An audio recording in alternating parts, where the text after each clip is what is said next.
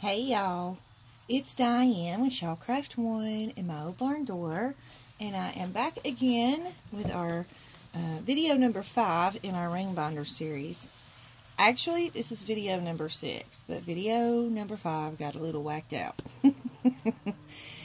Evidently, the camera recorded at the wrong angle or whatever, so so I had to delete it. So I did some some different things to the journal that you didn't get to see, but it's nothing big. So I'll kind of go through and show you now. And I know this is a weird angle.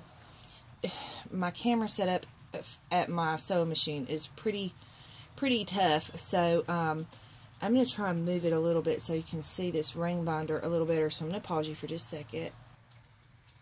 Okay, maybe that's a little better. It's not going to be great anyway I try to go. So just bear with it.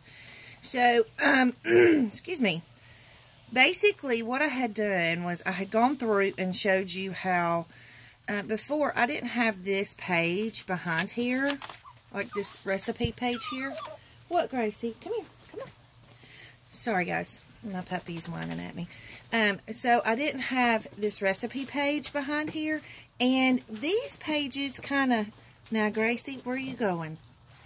Where are you going? Where do you think you're going where do you think you're going? I'm sorry. Hold on. Gotta give her some loving. Okay, sorry. She's pitching a fit, needing my attention. What, Lucy? You need some attention too? Okay, Mama loves you too. Alright, so anyway, I'm so sorry about the dogs, but, you know, they're my babies. So anyways, this page kind of blended in with this page behind here, and it really didn't stand out. So I thought if I put something white behind there, that it would help it to stand out a little better. So that's what I did there. And then I went through, oops, sorry for shaking the camera. I also have uh, the phone plugged in because the battery's dying. So this camera angle is a little bit difficult for me, but that's okay. We'll work with it if you guys be patient with me. So I got this wallpaper piece in a pack that I got from Selena today. So um, I wanted to add it in because I thought it went perfect with this journal. Then I went through and I added the um, uh, page tab, not divider, divider pages in. And I also added in some of the little recipe pages that were in the journal. And I added in some wrapping paper into the journal and you'll see everything when we do the final flip through. There's another divider and there's another one of the recipe sleeves. So I just kind of added those back in that were in, you know, originally in the book. I love you too. Um, I'm talking to the dog, sorry. She's in my lap right now. and I added this piece of wallpaper super pretty. So anyways, um, just added some pieces that were in the original book, like the these, and then the recipe cards. I added a few pages of the recipe cards back in. So that's what I went and did in the last video. And it was, thankfully, it was only about a 15 minute video. So I guess the good Lord knew I didn't need to record a whole long video because he knew I was messing up even when I didn't. So anyways, that's what we did. So now we are ready to add, start adding our fabric embellishments to the edges of the pages and making some fabric pockets and things like that. So that's what we'll work on in this video and we'll get as far as we can, um, as close to the 30 minute mark as we can and then we'll go forward from there. So I've just picked out some fabrics and I didn't finish picking fabrics, um, but I started picking fabrics. And I have a whole drawer full right up under this table. Excuse this table. This table is in rough shape. It is an old church table. You know, it's been beat up and banged up. It's been painted on. it's It's got a little bit of everything on it. So, um, yeah. It's It works, though. It's functional, so I like it. I love you too, my puppy. Alright, so we're just going to pick some fabrics to make the little ruffled edges. And I know I want to use this one because that screams country to me. These are little extra pieces that we're going to make some pockets with. Look at the cute little chicken one. Isn't that cute? One of my friends sent me that. Super cute little fabric.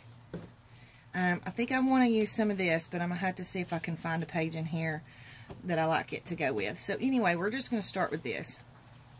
So what I do is I'm going to take, I'm going to find my edge first. Not that edge, I want a good edge. So here's my edge. And basically all I do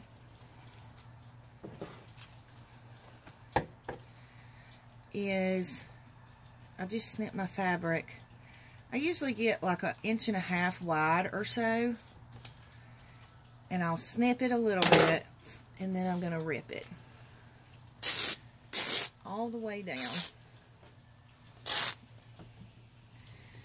I like the ripped edge look, and it's a good thing I do because I can't cut for nothing. Alright, so I'm going to put this fabric back up. Gracie, what are you doing, girlfriend? Are you loving on Mama? Oh, I love you too. I love you too. That's my puppet. That's Mommy's puppet. Mwah. My big baby. Alright.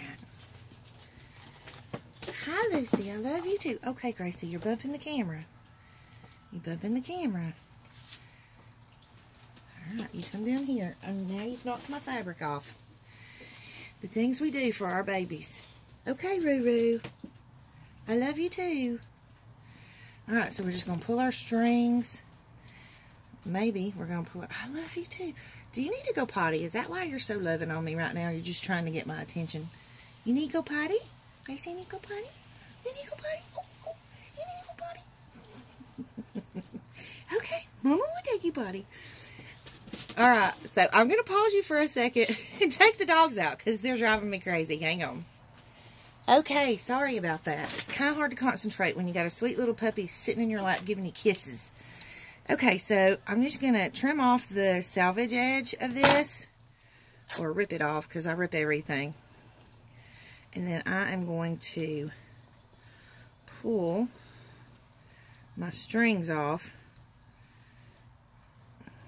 I see that one's a little, that one's a little jagged, but we can work with that. I think we're going to have enough. I'm just trying to decide which end I want to work with. Okay, so now what I want to do is find a, a page that I want this fabric to be the ruffle on.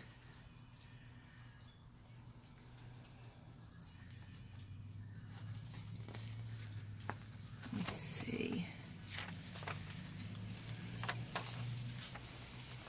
see we don't want to get we're pretty much not going to be able to add anything else to our ring binder because if you notice how full let me see if you can see you see how full this is so it's gonna it's gonna have alligator mouth but what I usually do is if it has alligator mouth I'll leave it like that and send it to the person who's getting the journal and let them pick and choose what pages they want to leave in, what pages they want to leave out.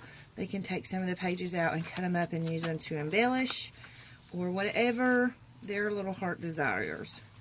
So I don't want to put um, I don't want to put fabric on this page because uh, I just don't want to take away from that page. It's just too pretty. So I'm just going to leave that page like it is. So we're going to go through here and we're going to find a page that's going to be strong enough to hold the stitching for our fabric. And I think we're going to have to go this far.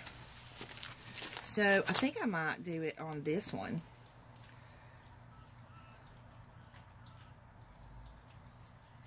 I think it would be cute on this one.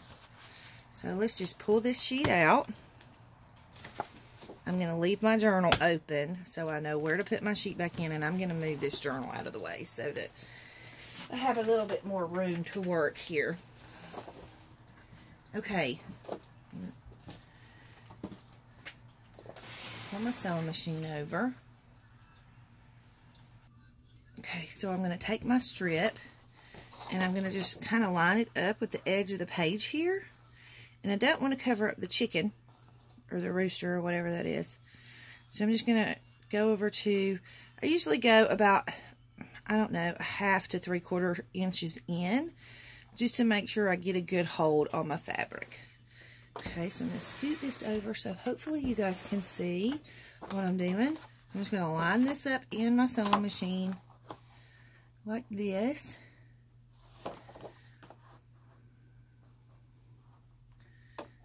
Put my foot down and I'm going to do a zigzag stitch, which I already have it set for a zigzag stitch. So bear with me because my sewing machine is loud and it may jiggle the camera because it's jiggly on this table. So you work with what you got, right? All right, so here we go. So I'm going to make a ruffle out of this, and I'll show you kind of what I mean. But first, I'm going to put a couple stitches in. I'm in a backspace to make sure it doesn't go anywhere. And then I'm going to put my needle down into the fabric. I'm going to zoom you in and see if you can see better. Hang on for me. Okay, maybe that's a little better. All right, so then I'm going to start taking my fabric and I'm just going to crinkle it up right up under the foot of that, um, the foot of my sewing machine. And then once I get that, that ruffle under there, I'm going to go ahead and do another one. All the while trying to keep your stitching straight. And then my fabric's folded right here, so I have to kind of unfold it.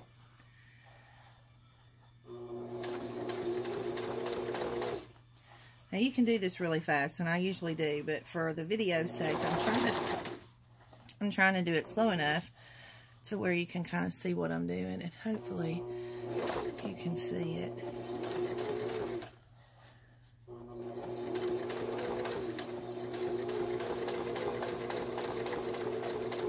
I don't do any of it perfectly because I don't like perfect. I don't like having to be perfect, and I don't like the look of perfect. So, yeah, sometimes it starts going crooked on me, so I have to straighten it back up. And it's hard to do it a little bit. It's hard to see your paper underneath, so you just kind of have to go with the way it feels. So I'm going to go ahead and trim this off right here. I'm going to keep my extra strip of little fabric. And then I fold this under right here and line it up with the edge of the page. I'm going to finish it off and back stitch and come back up.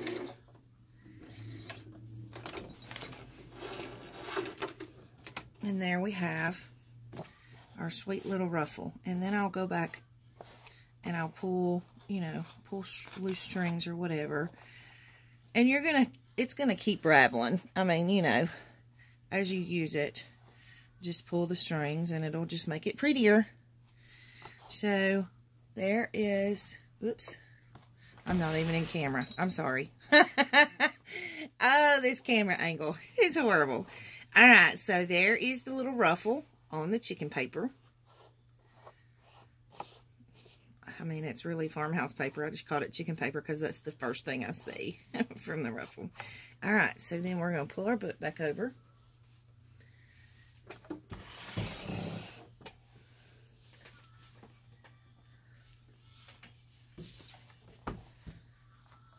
We're going to add it back in. I'm going to close it so that I can see how far my fabric is poking out. I like for my fabric to poke out the edge of the book. Some people don't like that, but I think it's super adorable like that. So I always do mine that way. If you don't like it like that, I mean, you can trim that off. Or just take the page out, you know. So, but I just like it. And I don't like it perfectly straight. As you can see, you know, it's not straight all the way down, but I like the look of that because I'll have some that are bigger at the end and go, you know, smaller up here. I don't do it on purpose, but it doesn't bother me that it looks like that because I think it's cute. I think it adds to the junk journalness of the of the book and I don't know, I just don't worry about it too bad. All right, so now I'm going to go find, I'm usually probably going to do like four to six of these little ruffles. And I think in this journal, I'm probably going to do four. So I'm going to go a little further. And I think this one would be super cute to have a fabric ruffle on. So let me find some fabric here um, that I think would be cute on there. Now, I have this pig fabric that I got from Selena. It's got a staple in it. See if I can get this staple out without ripping my fabric.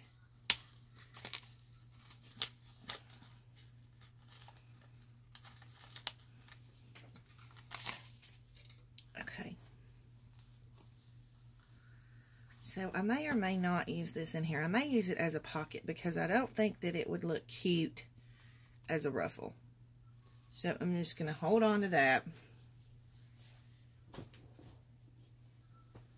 And find something else. And I think I want some kind of blue. I have this real cute blue here that I think would be cute there. I don't know if the blue's going to go well with this green, though. Let me just kind of look again. Let me see if this one would... Ooh, that one would kind of look cute there. What do y'all think? But is it going to be too much to be up against the red? No, I don't think so. I think that'll be cute. Okay, so we'll use this one for the next ruffle. So we're just going to go through this process again. I'm going to rip my fabric.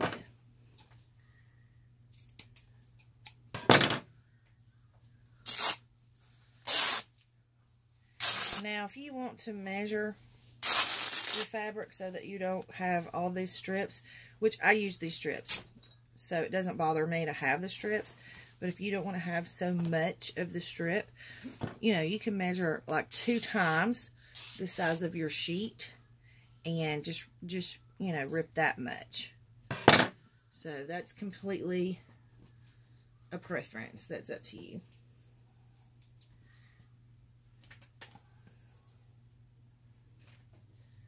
Alright, my fabric does not want to fold.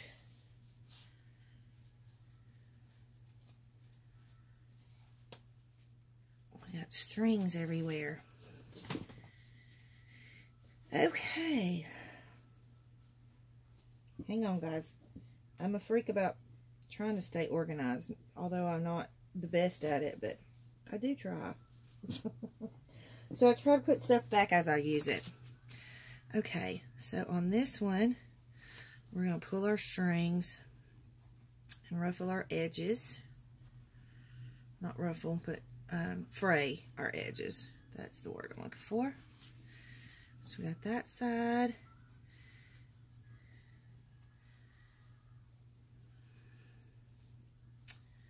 All right, so it's thinner up on this end, so I think I'm going to sew this end to, to the page. So I'm going to do this one more page with the ruffle, and then I'm going to pause the video because I'm absolutely positive that you guys don't want to see me do every single one of these ruffles. I've shown you how you do it, or how I do it, and um, how you can do it. So I'm sure y'all don't have to watch every every ruffle that I make. So I'm going to go ahead and move my book and sew this ruffle in, and then I'll come back and we'll work on pockets. Okay, so let me get my sewing machine over here where you can see. So I'm just going to line this up at the top edge, and I'm probably just going to use this as my guide, this whole little line right here. Sometimes using check paper has its advantages. Okay, so just backspace and then just start your ruffling.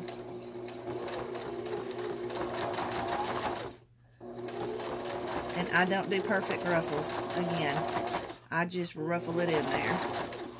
I like the sloppiness of it.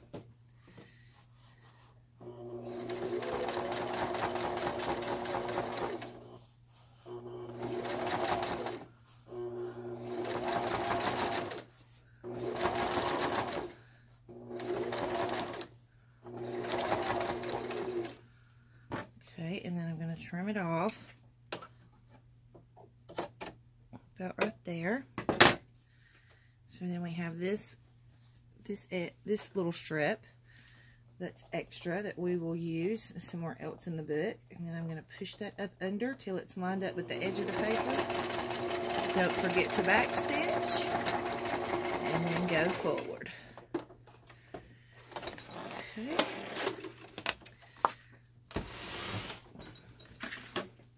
And so there you have your ruffle on that page.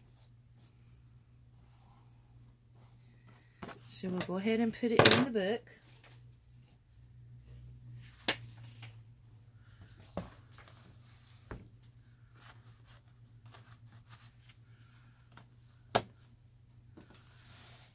There's what it looks like in the book, and then I'm going to close it, close the book,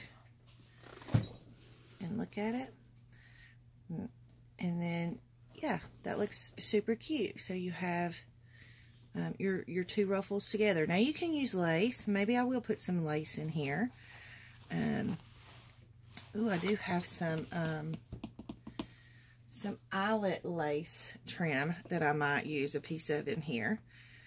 So anyways, I'm going to go ahead and um, leave that for now. I'll finish the ruffles later, but you've kind of seen how I do it. So um, now we'll go ahead and we'll start working on pockets. Let me just check my time. Okay, we're at 21 minutes. So what I usually like to do is I like fabric pockets. But sometimes fabric can be pretty flimsy according to what kind of page you're going to put it on. So, like, if you're going to put, um, let me just find a page to kind of show you an example of.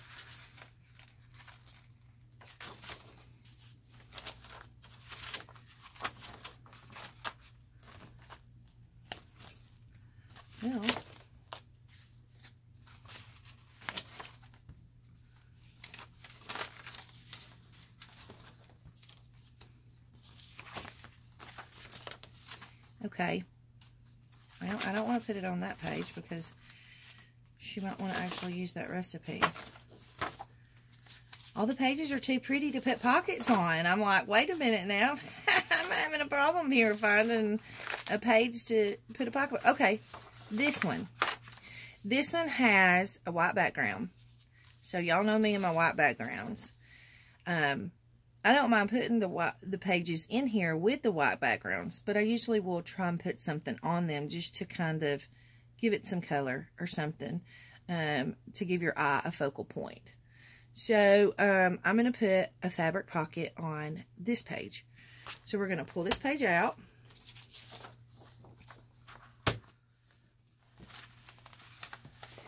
If it is a thick, like a thicker design page, like if I wanted to put a fabric pocket on this, I would sew the fabric directly to this. And I may actually put a fabric pocket in here. We'll see.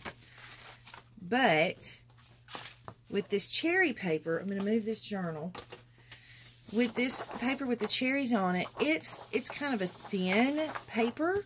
So if I want to put something on a thin paper, I back it to an index card. And I have these blank just plain white index cards. Um, I forget what size these are. Let's see. Okay, these are four by six. So that's kind of the perfect size to fit on my page. I'm sorry, I'm totally out of frame. So that's kind of the perfect size to. I'm sorry about this camera angle, y'all, but there's just nothing I can do about it. I'm doing the best I can. so sorry. So anyway, so this will just give the fabric a little bit of something sturdy to hold on to so it doesn't put too much um, strain on your actual page. So now that I know that this is a good size for it, if, you know, if it needed to be trimmed up or whatever, I would. And then I'm going to pick um, my pocket, my fabric to go on my pocket. Now, this fabric's not wide enough. Let me see if I've got a bigger piece of it because I'd like to put a piece of this on as a pocket. Yes, I do. I do have a bigger size. So I'm just going to turn my fabric upside down and kind of measure it. And I usually leave a little bit of fabric hanging over the edge of my index card. And then I'm just going to snip right there. Snip and rip. Here we go.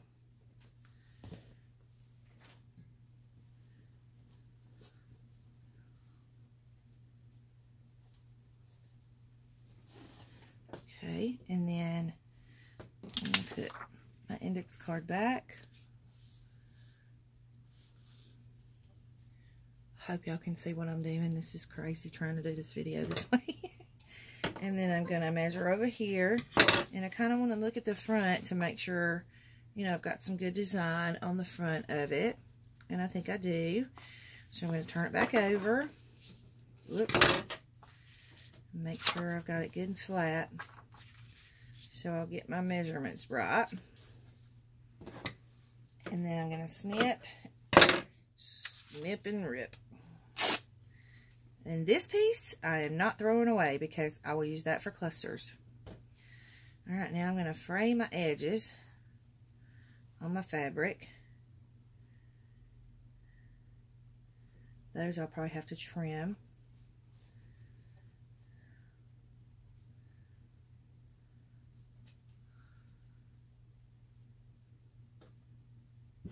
Get all my, get all my little extra strings. And then these I'm going to have to snip off because this fabric was cut previously um, with pinking shears. So you have that, but I like the little that little design for the top, top of the pocket. So we're going to leave him there. Okay, so now what I want to do is I want to change out the color of my thread because right now I just have this tan color thread in there for when I was sewing my ruffles on. But I want I want red to sew this pocket on. So we're going to switch out the thread real quick. It won't take but just a second.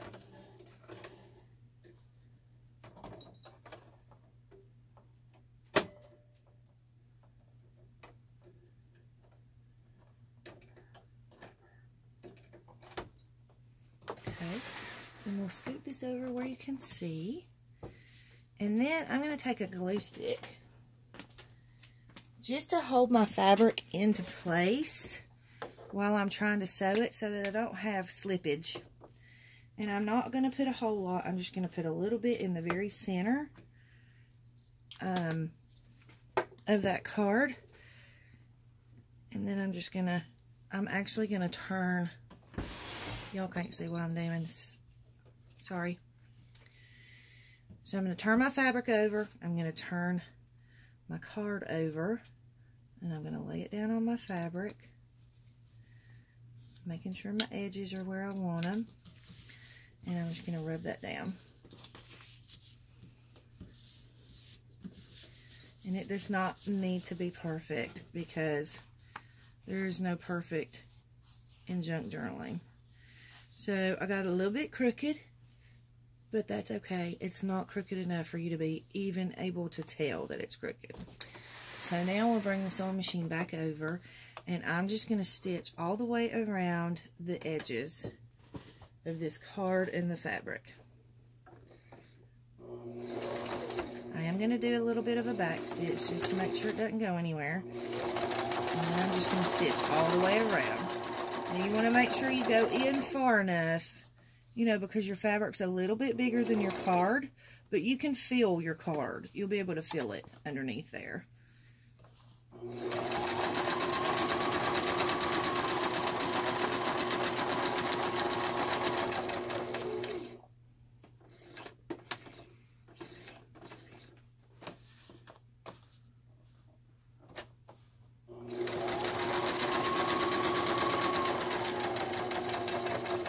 Now, at this point, you can either leave this open so that you have a double pocket. If you're going to do that, don't put the glue in the middle because then you can't have the double pocket. so, but that is an option if you want to do that. All right, so we're going to sew the last edge. Going to do a little bit of a back stitch. Don't have to do much because it'll hold it. And then pull this out. And there we have a cute little pocket. Now, if you want to sew directly onto the paper, which I do sometimes, you can do that. Just put your paper up in there with um, with it well, but the only thing is, if you if you want to sew the top part of it, you won't be able to do that with it directly on the paper. So when I when I don't want to leave a double pocket, I'll just glue this, you know, because it looks like it's sewn.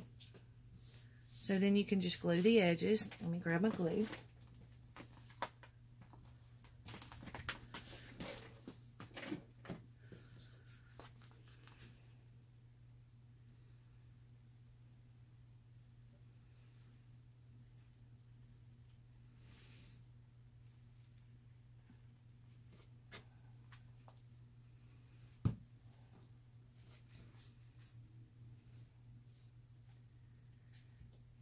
And then I'm just going to put it right right close to the edge of the um, the hole. And then I'm just going to press it down. Making sure that you get it straight because I got it a little crooked. Okay? So there is a cute little fabric pocket with chickens on it. So, we have one pocket. Um, I'm going to go ahead and end the video here because we're at 30 minutes. I'm probably going to go ahead and make a few pockets. If y'all want me to show y'all that on video, um, let me know. I know the camera angle is a little bit difficult over here, but if you're okay with it, I don't mind showing you how I make the pockets, but I mean, I'm going to make some different pockets, so I probably will do a video, because I'm going to do a Kristen pocket, I think, so I'll do a video and show you guys that. But anyways, for now, we'll leave it here. Um, it just kind of shows you how to sew the ruffles in, sew the pockets in, and the next um, things that we'll do after pockets is we'll do, you know, some fabric strips on the edges, some paper strips on the edges, and um, start doing some embellishing and things like that. So let me know what you want me to do, and I'll be glad to do it. And don't forget to like and subscribe. Leave any comments or questions you have below. And thanks for watching. Big hugs.